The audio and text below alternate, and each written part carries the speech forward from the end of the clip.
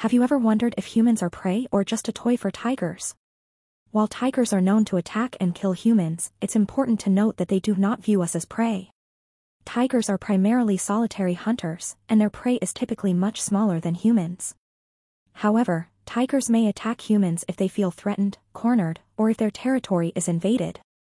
In such situations, a tiger may view a human as a potential threat and respond accordingly. It's crucial to remember that tigers are wild animals, and as such, they should be treated with respect and caution to avoid dangerous situations.